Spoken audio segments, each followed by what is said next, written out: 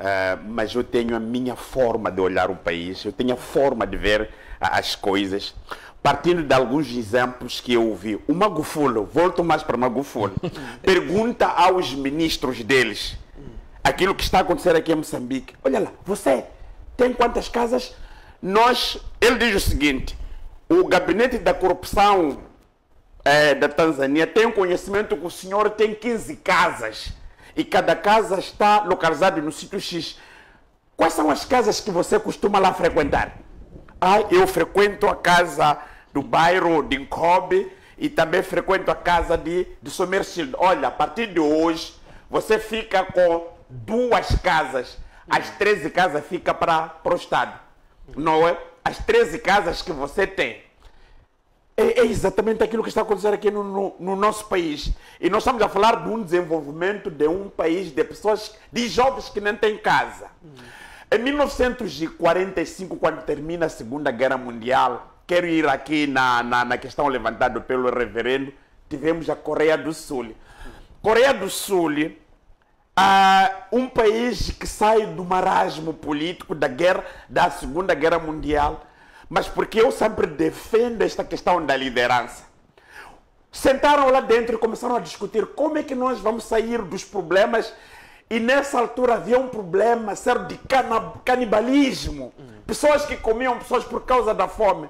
Porque, meu irmão, a, a, a, a, grande pobreza de um país é fome. Quando nós temos um povo que não come, é aí onde todos nós notamos a fome.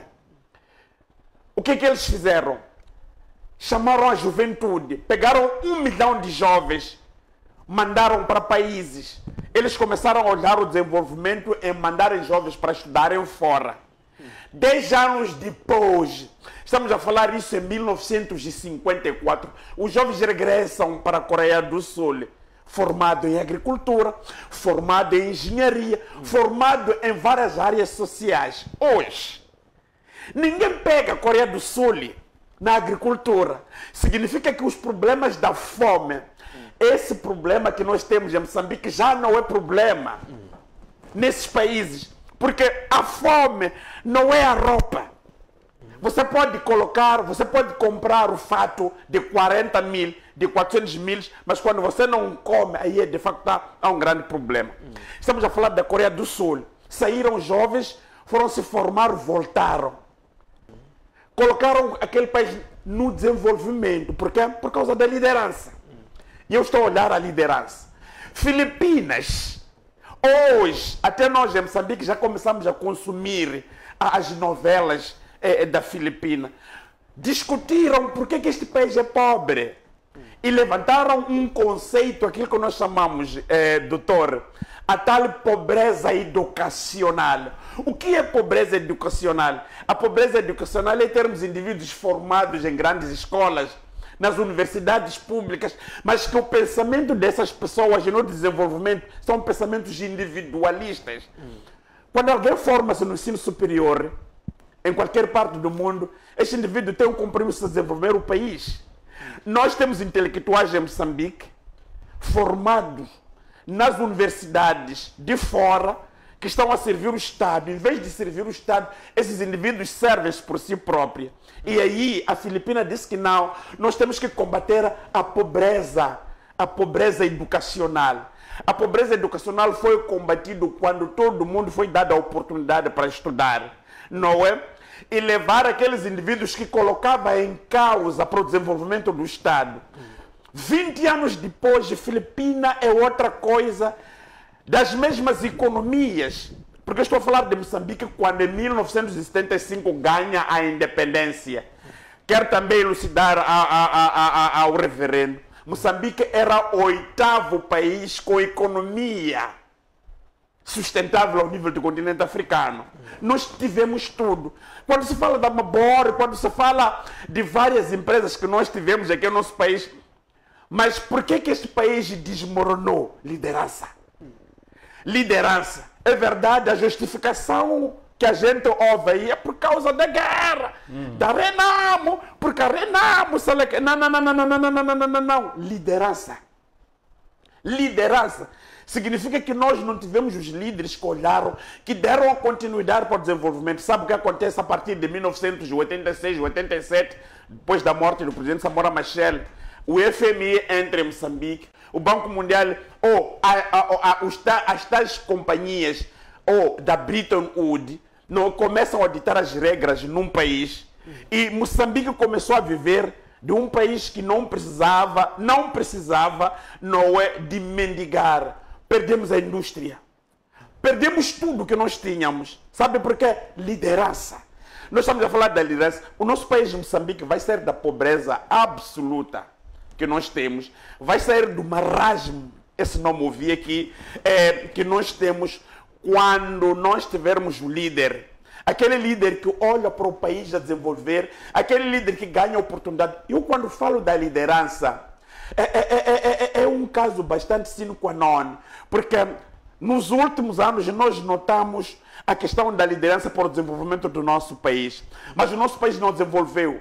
Se Filipina, em pouco tempo, desenvolveu, usou a educação, não é? Como fator de desenvolvimento tiramos a pobreza educacional, a, a, tal pobreza educacional que nós em Moçambique hoje temos, porque não valorizamos a educação.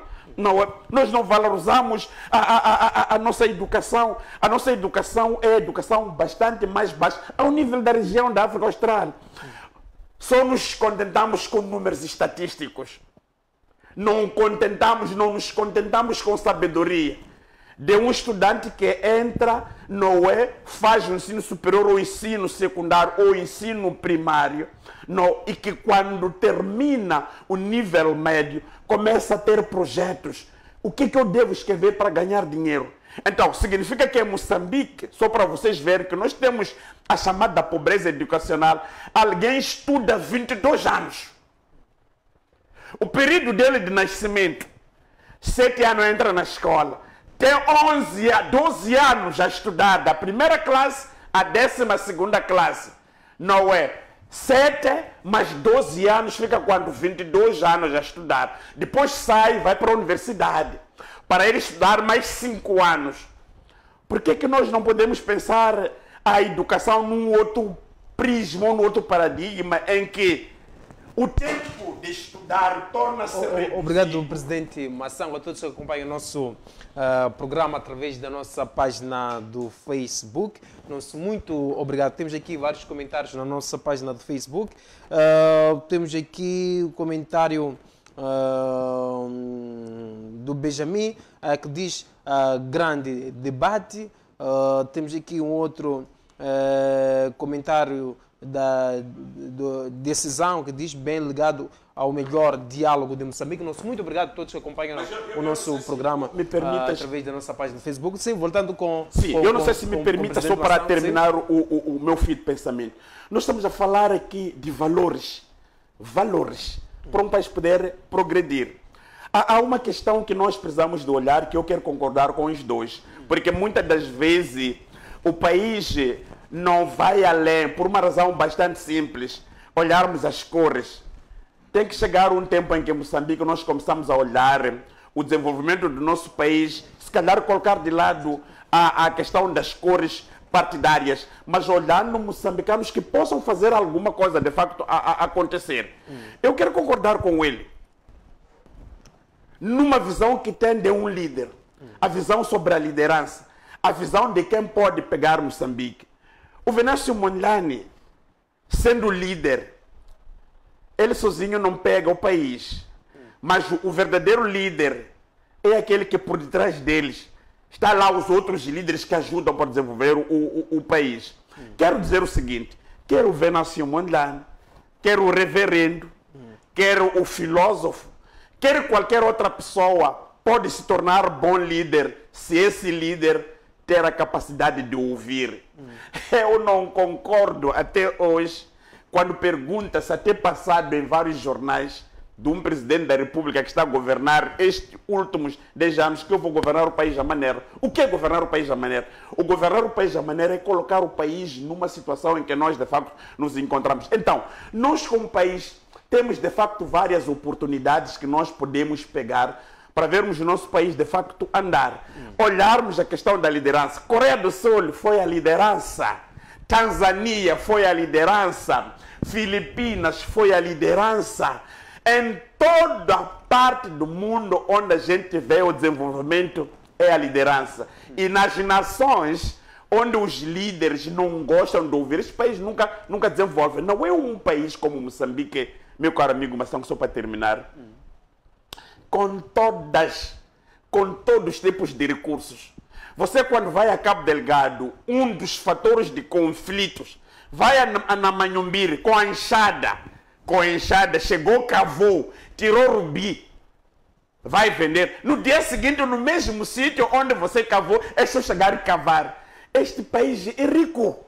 Este país tem tudo para dar certo. Mas por que, que este país não dá certo? Não dá certo por causa da liderança, porque as lideranças que nós temos nunca olham o país para o desenvolvimento, hum, olham apenas para os seus recursos, é, é, é, para os seus recursos pessoais. Nós temos que olhar o país, nós temos que olhar à frente e incluir. Fazer, sermos um país de inclusão, colocarmos os religiosos, Sabe, em toda parte do mundo a gente pergunta aos religiosos como é que nós podemos governar, porque esses são esses que comunicam com Deus. E Deus dá abertura. Se nós temos um país de indivíduos ímpios,